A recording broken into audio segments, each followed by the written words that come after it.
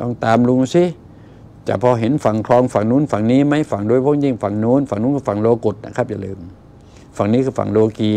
เทียบจากคลอง โลกีคือโลกนะครับ เราอยู่ในโลกมาตลอดนะครับ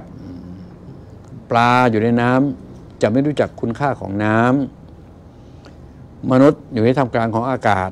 จะไม่คุณจะไม่รู้เข้าจะไม่รู้จักคุณค่าของอากาศ ต่อไปนี้รู้จักลุงงอก นะก็รู้จักคุณค่าของอากาศเสีย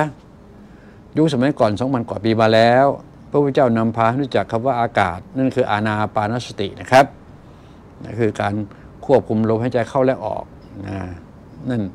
พระพุทธเจ้าบอกให้รู้ความจริงของอากาศมาตั้งสองพันกว่าปีแล้ว เรียกชื่อสั้นว่าอาณาปานสติ ก็คือการควบคุมลมหายใจเข้าและออก เข้าให้เท่ากับออกเมื่อใด ผิดกันหนึ่งโมเลกุลหนึ่งอะตอมก็ไม่ได้ จุดนั้นนะครับบรรลุธรรมทันทีนะครับนั่นนั่นภาษาลุงอยู่แล้วล่ะเวลานำพาสมาธิมันทำไม่ได้หรอกทำไม่ได้มันก็มีสิทธิ์คิดเออเป็นไรเป็นไรคิดเล่นๆไปซิเป็นไรไปเออนะ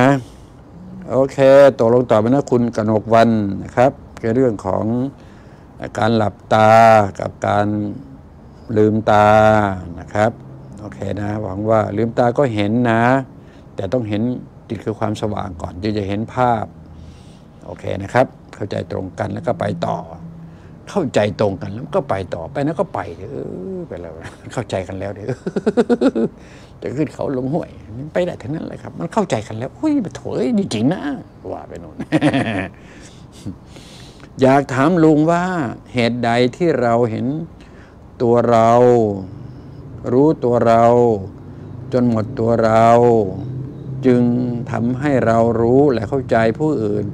และสรรพสิ่งทั้งหลายทั้งปวง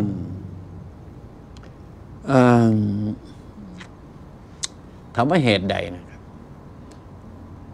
มันผมว่ามัน มันเป็นคำตอบเลยอะนะ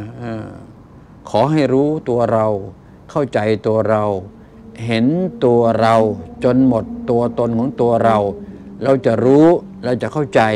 แล้วเห็นสิ่งอื่นจนหมดเหมือนกันล่ะคุณโยม มนุษย์โดยสัญชาตญาณทั่วๆไปมักจะอยากจะรู้เรื่องราวของผู้อื่นนะ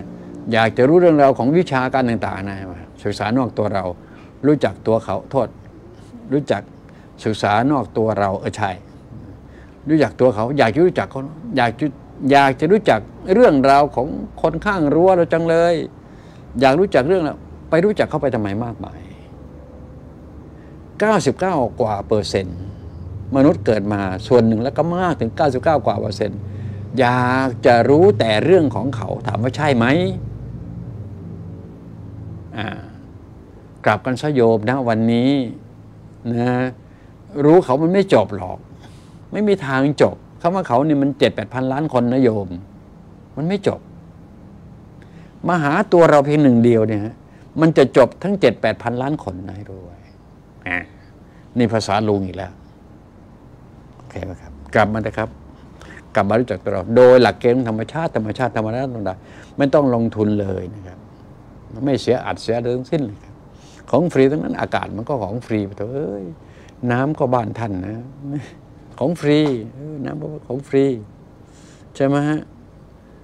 ก็ฝนตกมาก็รองไม่ใช่ครับ เออ กินฟรีตลอดปี จริงๆนะอ๋อใช่ป่ะไปซื้อทำไมล่ะ คิดซื้อทำไมล่ะน้ำนั่นรองกินเอาเอง โอ้ย